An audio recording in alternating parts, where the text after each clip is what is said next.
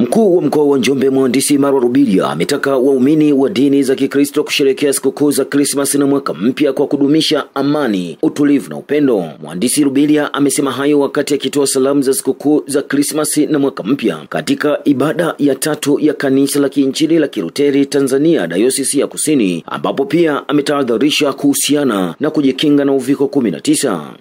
Muhimu sana tudumishe amani, tudumishe upendo. Na kuzaliwa kwa Yesu Kristo, ujumbe mkubwa tunaopata ni upendo. Kwa hiyo mimi niwaombe tuendelee kudumisha upendo, lakini muhimu zaidi amani, kwa sababu maendeleo yote ambayo tunayaona katika mkoa wetu ni kwa sababu tuko katika mazingira ya amani. Niwatakie kila la heri, nikiamini kwamba Mwenyezi Mungu ambaye ametujalia kufika siku ya leo ataendelea kututunza, hatimaye utaumaliza salama mwaka wa 2021 na tuweze kuingia mwaka wa 2022.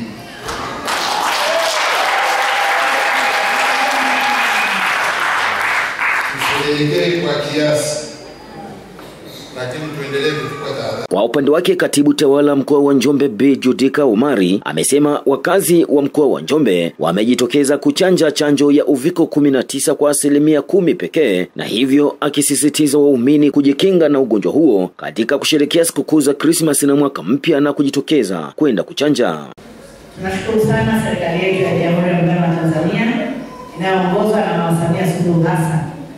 Imeweza kututolea chanjo ambazo zimesambazwa kila kituo cha afya kinachotoa chanjo, na ninapenda kutoa wito kwa wananjombe wote tuendelee kujitokeza kwenda kupiga kupata chanjo.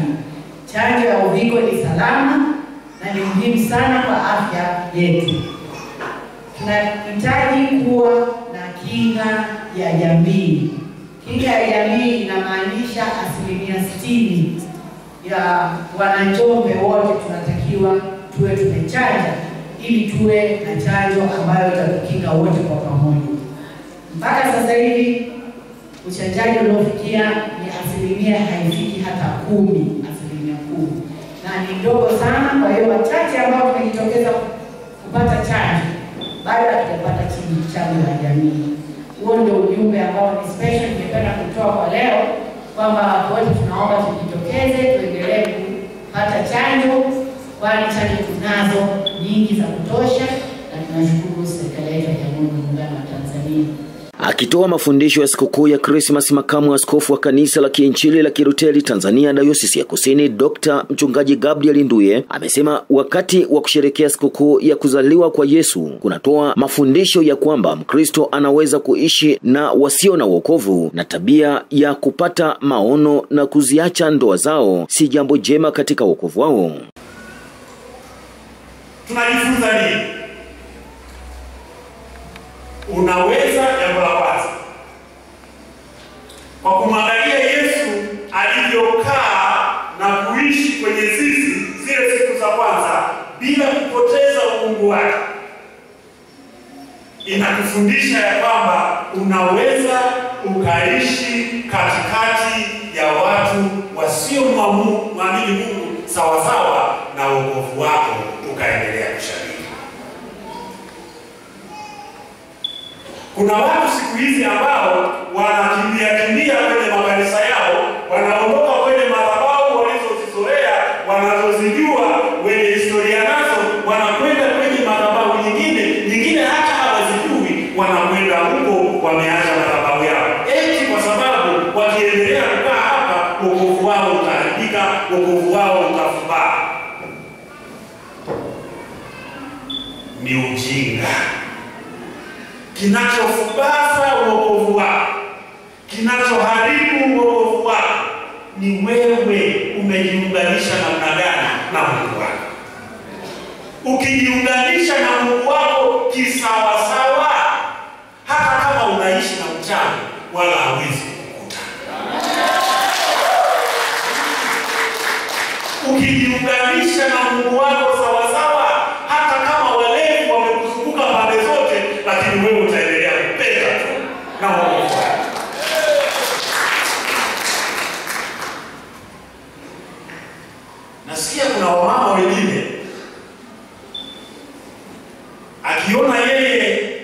wokovu umekolea vizuri kuliko mume wake, anaanza kupata maono kwamba huyu mume ulikosea, sio wenyewe, e, jaribu kutafuta mume mwingine ambaye Mungu atakuonyesha. Baadaye anaacha mke mume wake, anakwenda huko. Eti kwa sababu akiendelea kuishi na mume wa namna hii, wokovu wake utaharibika. Nana Yesu amekaa kwenye zizi la ng'ombe.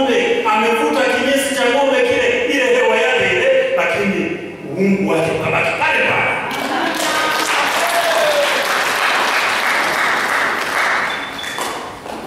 Na wababa wengine pia wako, akiona yeye ukovu umekolea kolea kidogo, mke wake bado anachelewa chelewa nyuma, anaanza kutafuta sababu, oh, Mungu amenionyesha wewe sio mke wangu, yuko mwenyewe anaye.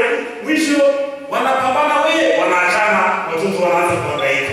Hakuna kinachoharibu wokovu wako isipokuwa kama wewe mwenyewe hujashikamana vizuri na Mungu.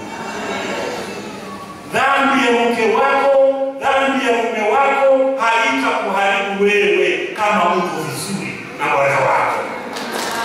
Katika kanisa Katoliki jimbo la Njombe, paroko wa parokia ya Njombe mjini, Padre Francisco Chengula amesisitiza wazazi kukaa karibu na watoto wao, kuonesha upendo na amani na watoto wao, huku mseminari mkuu Sergio Kabelege katika injili yake akitaka Wakristo kujishusha na kusimamia kile kidogo walichonacho na kukubali kumtumikia Mungu. Wamefanya tafiti wa Afrika huwa tunafurahi mambo. Mtu anaenda kunywa Krismasi asikunywe na kulewa na kutapika sana eh, na kutukana watu aliyonayo.